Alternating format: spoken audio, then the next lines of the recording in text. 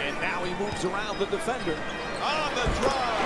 And flips it home. Excellent job of getting into the paint and finishing at the rim.